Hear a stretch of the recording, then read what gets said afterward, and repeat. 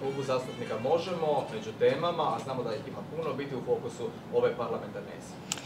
E, Evo odmah da kažem da da, smjestili smo se, zadovoljni smo i prostorijom i e, načinom na koji je sve organizirano. E, Zaista mislim da bi bilo i neumjesno se žaliti na bilo koji način. Jest da je tri puta manje prostora nego što je to bilo u e, našoj stalnoj e, zgradi Sabora, ali mislim da se sa dobrom organizacijom to bez problema će sada e, taj nedostatak nadoknaditi, tako da evo, mi smo vrlo zadovoljni. Što se tiče naših planova za jesen, dakle mi smo cijelo ljeto radili na pripremi nekoliko bitnih i zakonodavnih i programskih inicijativa. A, Jedna od prvih stvari e, koje nas čekaju e, jest interpelacija o energetskom sektoru koju smo uputili još prije ljetne stanke, tako da će sada odmah doći na red u kojoj ćemo podići nekoliko bitnih pitanja od stanja same mreže do pitanja građanske energetike, pitanja izlaska iz energetske povelje, pitanje INA MOL-a, ali i pitanja Petrokemije Kutina. Dakle, to su pitanja kojima ćemo se baviti na interpe- interpelaciji. Mogu odmah reći da smo tokom ljeta i sada, dakle prije samog početka zasjedanja, obavili razgovore i sa raznim dionicima iz sustava kako bi postavili što konkretnije pitanje i dali što konkretnije zaključke. Druga stvar kojom ćemo se itekako baviti jest pitanje stambene politike. Vi znate da je to bila prva tema kojom smo se kao stranka predstavili 2019. godine kada smo već tada upozoravali na krizu stanovanja.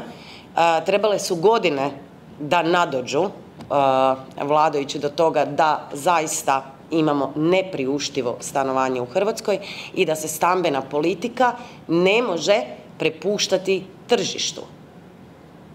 Zašto se to zove nevidljiva ruka tržišta? Zato jer je zapravo nema. Zato se zove nevidljiva. Jel? I dovelo je do toga da danas i ljudi sa dobrom plaćom, nadprosječnom plaćom, više u mnogim gradovima u Hrvatskoj si ne mogu priuštiti stan.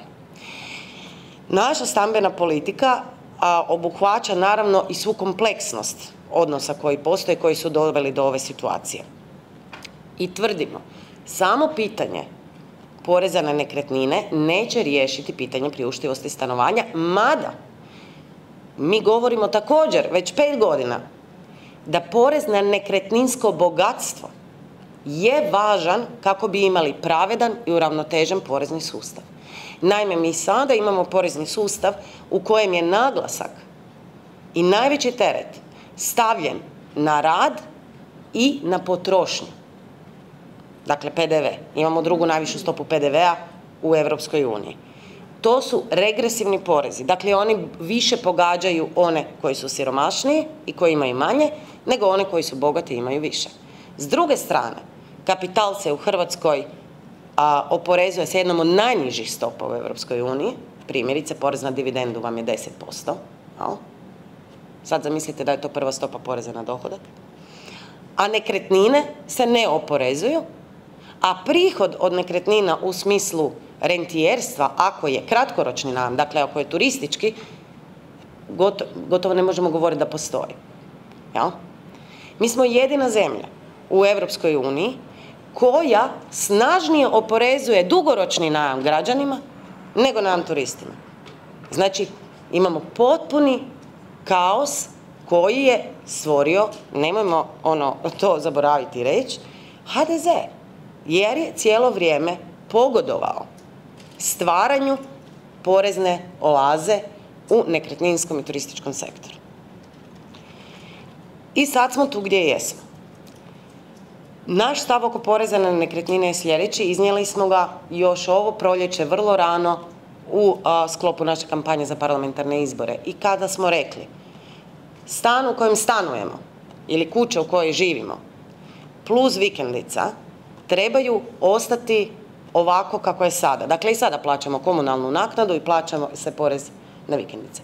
To ne bismo dirali. Zašto ne bismo to dirali? Zato što smatramo da to čini okosnicu dobrog života, razumijemo da su mnogi ljudi radili cijeli život da bi si to priuštili i ne smatramo da to na bilo koji način porezno treba penalizirati. Međutim, mi se zalažemo za progresivni porez na nekretnine, što konkretno znači da svaka sljedeća nekretnina, treća, četvrta, peta, a posebno šesta i tako dalje, su oporezivane višim stopama. Jer nije u redu da neko po istoj stopi plaća porez za nekretninu u kojoj živi, kao i onaj koji ima 6, 7, 8 ili 10 nekretnina. Dakle, to nije pravilno. Progresija mora postojati.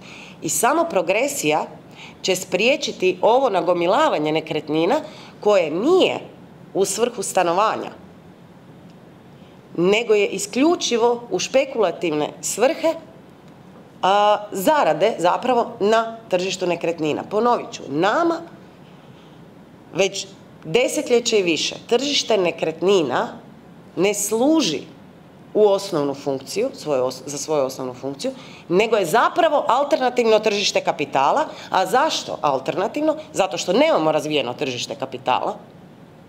To je s jedne strane, pa da ljudi mogu tamo ulagati. A i s druge strane, jer su prinosi bili nevjerojatni. Dakle, nevjerojatni, evo i kolega prije mene je rekao, vi, ste, i vi imate stopu rasta prosječnu stopu rasta cijena nekretnina u Hrvatskoj iznad 8% godišnje. Zamislite da su vam to kamate na banci, na štednju. Dakle, to je 8 puta malte ne više od onog što ćete dobiti u banci. A, to je prosjek. U velikim gradovima to je bilo puno više, dakle u tri godine cijene su se poduplale. Doslovno poduplale. I da, tome treba stati na kraj. Međutim, to neće ići samo sa ovime ako ne napravimo fond za ulaganje u javnu stanogradnju, u stanove za javni najam. I tu moram reći, tu ćemo predstaviti i zajedničku inicijativu koju imamo na europskoj razini i razini Hrvatskog sabora, jer je naš kolega Gordan Bosanac, koji je postao europski zastupnik, uspio i unutar naše grupacije zelenih to postaviti kao prioritet, ali postavio je i kao prioritet kod pregovora oko podrške predsjednici Europske komisije Ursuli von der Leyen i ono što će biti naš fokus jest osigurati sredstva u sljedećoj financijskoj perspektivi da sve države, a posebno naši gradovi dobiju europska sredstva za izgradnju stanova za javni najam i e, smatram da takva inicijativa je izuzetno vrijedna i za sve hrvatske građane, ali i za sve druge građane Europske unije. Na tome ćemo inzistirati i ovdje u Saboru i da, kad smo već kod toga, kad smo već kod poreza, zašto je bitno da počinjemo prebacivati teret porezni na bogatstvo, a da smanjujemo na rad i na mirovine. U tom smislu imat ćemo još jednu inicijativu, evo sinoć sam je najavila, jako važnu, a to je da ćemo tražiti ukidanje poreza na mirovine, dakle poreza na dohodak od mirovine u potpunosti za sve one koji primaju mirovinu u neto iznosu do prosječne plaće, što je, kao što znate, velik, velik dio naših građana. Naravno, oni koji imaju takozvane saborske penzije ili penzije od 2000 eura, to je druga, to je druga stvar, to je druga kategorija. Međutim, ljude koji su u ovom, a to je zaista najveći dio naših umirovljenika, želimo u potpunosti osloboditi plaćanja poreza na mirovine i time zajedno sa našim drugim inicijativama koje će uslijediti oko povećanja mirovina koje su povrh usklađivanja, jer ovo nije bilo povećavanje mirovina, to je usklađivanje koje je zakonom određeno, e, po godišnje povećavati po stopama tako da unutar ovog mandata dođemo na e, e, prosječna starosna mirovina dođe na 65% prosječne plaće. To su izračuni koje su naši stručnjaci napravili već tokom pripreme našeg programa za nacionalne izbore i to su inicijative s kojima ćemo ići i koje će biti glavne inicijative ove jeseni.